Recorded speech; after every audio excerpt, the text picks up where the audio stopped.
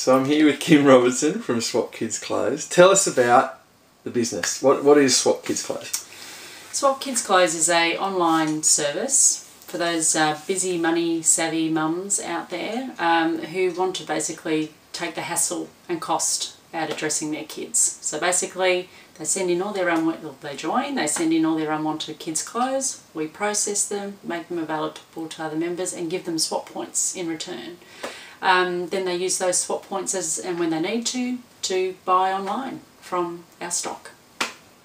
So with you know expenses rising all the time, numbers of kids rising all the time, particularly in my household. Yes. um, I mean, it Common. just it just makes sense, I guess, not to be tied down to shopping for new retail clothes all the time, and the stuff's all in good nick. And Absolutely, and that's what I find. I'm sure you know, and it's quite common. Lots of mums say the same thing.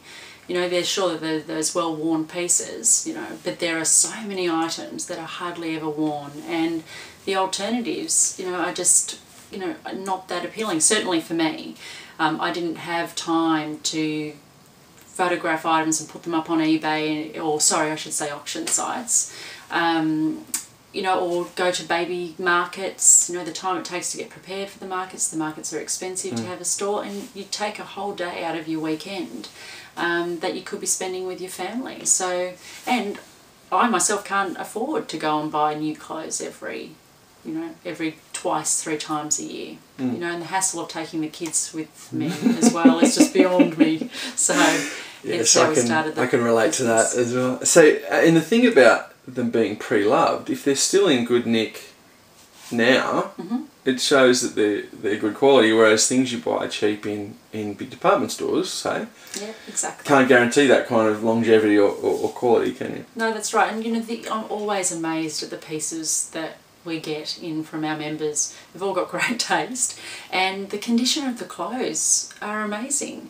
You know that we do get the odd you know item in that we you know have to um, either give to charity or whatever we need to do with them because we just need to make sure that the quality control is is a1 so our members can feel really confident that what they receive is you know beautiful pieces of clothing very gently worn so And so, how long have you been doing this? What's what's the story? Um, we've been uh, we've had the site live for a year now. Um, we have really just been our Facebook page has been in live for around the same time. Um, our members that have joined have been really active and are loving the service. We've got our testimonials up on the website, um, but they're just amazed at the, at the quality of the items that they receive, um, and also the fact that they can trust that we will do our best with the online order form when they they say they want five shirts, five skirts, whatever it might be.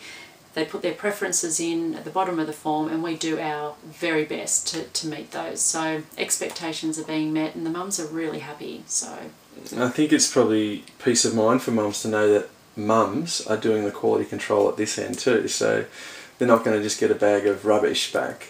exactly, and um, I did give my husband a, a trial go at doing the processing. let's just say he didn't understand the difference between skirts and shorts, I'm sure, or um, yeah, he would have been quite happy. You know, that's fine. It's got a bit of a mark on it. That's no, no, it's not all right. You know, mums have to make sure that they're uh, they're good with um, what they receive, and so therefore my husband is, has been banned from the processing room. Yes, probably probably best. um, so what are the barrier? What did people say to you? You said people were surprised with the with the the process and whatever. What do what are the frequently asked things that would stop people using your service? Like what are the what are the roadblocks for you? We find that, um, you know, and I, I must admit I had the same uh, challenge initially. I thought the postage was going to be really expensive, um, but I did a lot of research on that and testing, etc. And it's just amazing how cheap Australia Post is um, for what you get. And we had a member last week send 82 items to us from Melbourne to our warehouse in Brisbane. Um, the majority of the, uh, maybe 40% of them were sizes 2 to 5, so big items, right? Uh, and it cost $25.40 to send. It was the biggest bag you've ever seen. um, so, you know, postage is cheap. you know, and which is a really good thing. Um, and also, when members join, they receive a free complimentary welcome pack, which includes five or six different ranges of sizes of bags. Um, you know, almost purpose designed, if you like. They're they're airtight. You know, they water can't get in, they can't get damaged. So um, they're often running. They just basically need to throw in, wash their um, unwanted clothes, fold them, put them in the bag. We've got the addresses, seals, envelopes on the um, in the welcome pack, and they can just send it off. We process it, make it available to other members.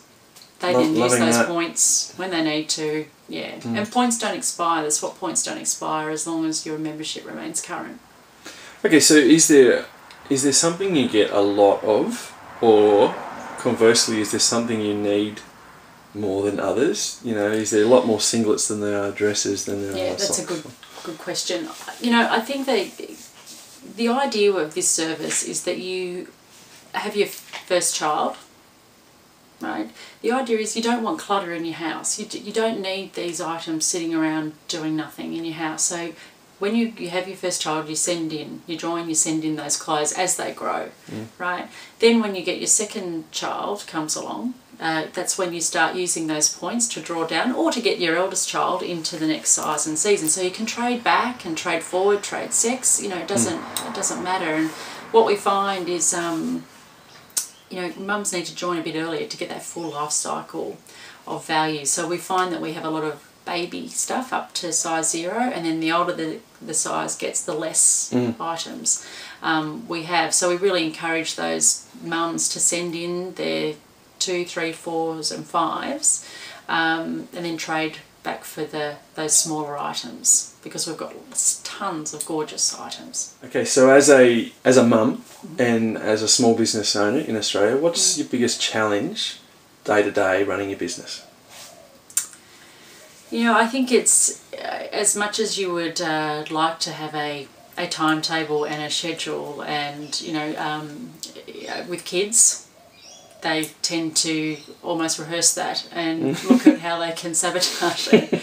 Um, that would be one of the, the main things is that flexibility. You have to be flexible, and you know there are nights when you're working away, and you know you know half your Sunday or whatever it might might be. Um, but I guess on the, the other hand, the benefit is that I do have that flexibility, you know, which I which I love, and I'm passionate about. You know, I really believe that this service makes mums' lives easier and also saves money. I mean, it, the cost of living is so high today. You know, we just sure that this this service isn't about um, you know those special pieces you know to take your children to a wedding or whatever this is about everyday living making it less expensive and easier to manage so i, I love that part of my business and it's what keeps me going if i have to be on at 10 o'clock at night